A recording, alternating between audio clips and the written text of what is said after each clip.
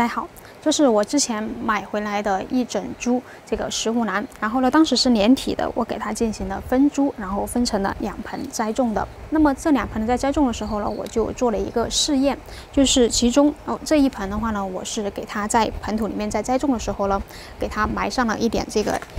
幺零幺这个活力素这个颗粒型的，那么现在呢，呃，已经一段时间过去了，这两盆呢都已经浮盆了。虽然两盆都浮盆了，但是呢，现在差别还是比较大的。这一盆呢，呃，虽然已经浮盆，长势也非常的好，但是呢，它没有长芽。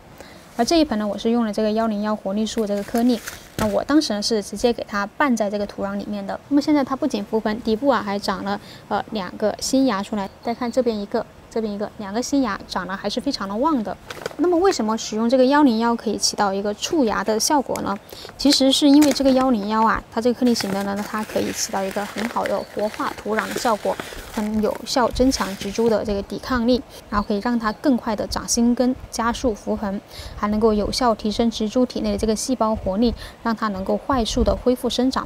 那么它后期啊生长速度快了，自然呢就能够很快的冒出新芽出来。这个幺零幺颗粒啊，我们除了在栽种的时候拌土之外呢，其实我们平时也可以给它在盆土里面，呃，就像平时这样子给它在里面拌上一点都可以。它可以让这个植株啊生长啊更为旺盛，特别是一些长势不好的植物啊，后期呢呃能够更快的恢复长势。其实这两盆除了长新芽这一盆是放了幺零幺之外呢，它们的盆土还有这个养护环境啊全部都是一模一样的。所以这个幺零幺呢可以促进植株生长啊促芽的效果呢其实还是非常不错的。好啦，本期就分享到这里，我们下期再见。